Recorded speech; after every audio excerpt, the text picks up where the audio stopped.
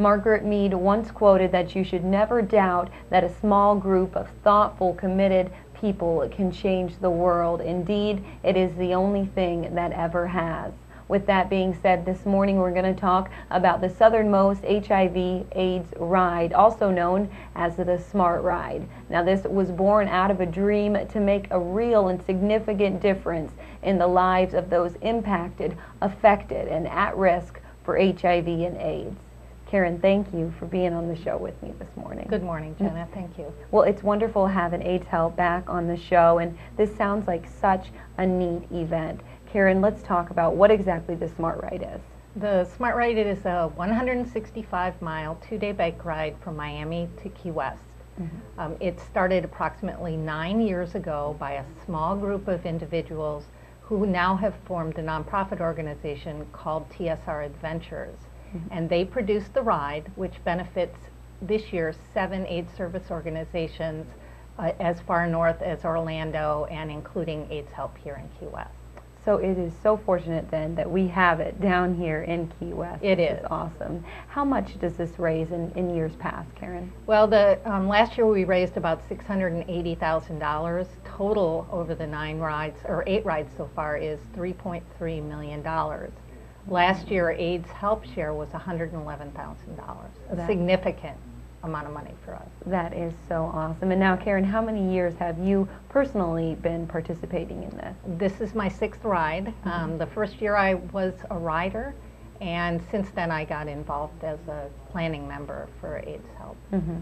So it's, okay, so let me get this straight. It's two days. Yep. And you're riding your bike from Miami down to Key West. Correct do you have to be you have to be riding your bike right? Uh, you can ride your bike or you can crew. We need a lot of help. Mm-hmm. um, there's this year there's so far 755 people registered riders and crew. Mm-hmm. um, we'll probably end up with about 350 riders and maybe 300 support members.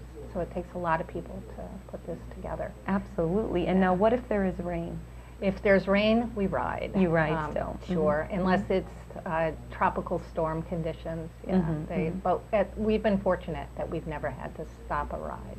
I think this is so wonderful that you have put this together. And now I understand that you also have something going on at Fantasy Fest, a float mm-hmm. that's part of this. Tell me about it. Correct. Um, in order to participate in the Smart Ride, mm-hmm. AIDS Help has to help with the production costs because one of the unique things about this ride is that 100% of the pledge money raised by the riders goes back to the agencies. None of it is used for production. Mm-hmm. So uh, AIDS Help share is approximately $8,000 to help with those costs.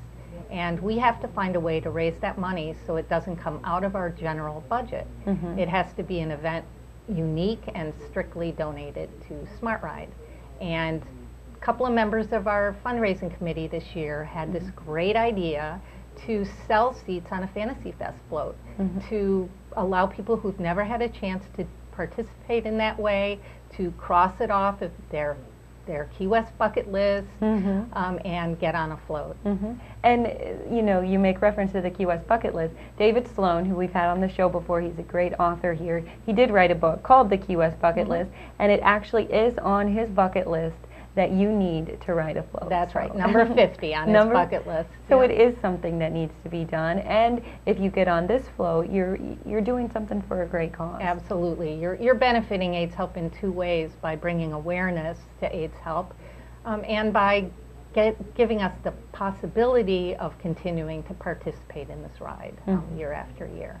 It, and Go no, ahead. Well, speaking of Fantasy right. Fest, I wanted to say you guys have your other most important fundraiser going on right now. That's right. Right now, it's we're in the coronation season, so mm-hmm. we're leading up to the coronation of the King and Queen of Fantasy Fest, which is a week from Friday. Mm-hmm. So lots of events going on there. Um, the best place to find out about them is our website. Mm-hmm. Um, also, if you're interested in riding on this float, and this is open to locals and tourists alike, um, contact Pam Damala at AIDS Help at the mm-hmm. phone number yeah, the phone number is on the bottom of the screen along with the website. And I just have to ask, how is the Queen and King and all of that stuff going? It's I mean, going, it's going great. It's such, we have such dedicated King and Queen candidates this year who are mm -hmm. just out there giving 100% plus mm -hmm. um, to this. It's hard work. They put, it, it takes a year of, of work from mm -hmm. the mm-hmm. time you decide to run um, put all, together all your events and actually get to Coronation Day. It's Mhm. a year's worth of work, Mm. and we are so grateful for every one of them. Mhm. It, it's been wild out there and fun. It, it Yeah. and we had one of your king candidates on, Markey. Oh, yeah, and he's he, great. I mean, he was saying how you have to basically, you know, dedicate everything to Mhm. this campaign, and he has put so much time and energy into it, and I know the other candidates Yeah, have as yeah, well. they have. Now, Karen, this is still, of course, open to the public. If they want to get involved with the Smart Ride or the float, you still can have many more people sign up, right? Absolutely. Smart Ride, actually, registration is closed. Okay. So you can no longer ride, you no longer can crew, Mhm. but we have lots of opportunities for people here in Key West. Um, When the, the day that we ride in, we like cheerleaders, and there'll be Mhm. information about where you can go to watch the riders come in. Mhm. Um, Also help at the high school, which is where our holding area is. Mhm. People ride in, stay there until they can go downtown for, they, there's a parade through town. So I bet this would be the sight to see, that's yeah, for sure. It is. It's an amazing, amazing event. If you've not ever been a part of it, it'll change your life. It, Mhm. it truly is a life-changing experience. Wonderful. Well, thank you so much, Karen, for You're being on this morning and talking about this. You're welcome. Mhm. I'm going to take a quick break. I'll be right back after this.